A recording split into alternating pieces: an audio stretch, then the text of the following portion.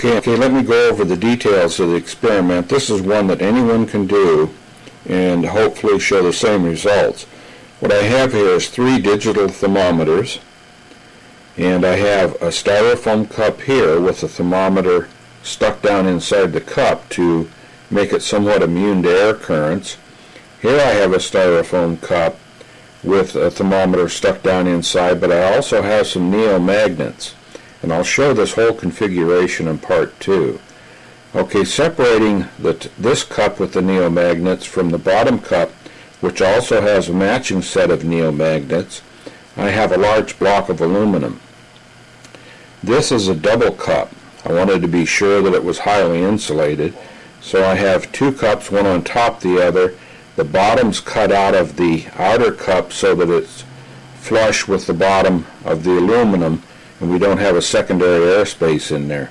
I've also insulated the shaft of the thermometers or the temperature indicator so that uh, the air currents and ambient heat around it don't impact it.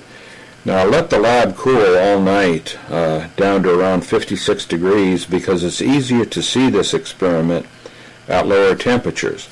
But what I want to show you is that it appears, and I've duplicated this a number of times, that neos will actually cool if you have the proper uh, structure between them, and in this case this large block of aluminum. Let me show you the temperature on the neos that are inside of the bottom containers, 14.8 Celsius.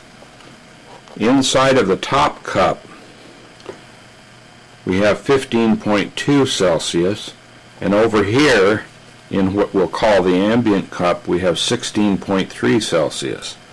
There's a one degree differential between the ambient and the one that has the neos in it, but you see that the top is open so that we have some temperature variation because of ambient air getting in there.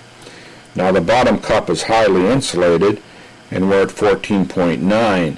That will change, it'll fluctuate a couple of tenths up and down. But we can see quite readily that we have anywhere from a 2 degree to a 1 degree difference, and I'm more or less ignoring this one. Now, like I say, when we get up into the higher temperature range, the ambient temperature range, it becomes harder to discern a difference between ambient and the inside of the cup. Although you still see the temperature differential here with the double insulated cup with the Neos. So anyway, this is setting the stage for it. And what I want to do then is go ahead and show you what the components are inside so if someone wants to try and duplicate it.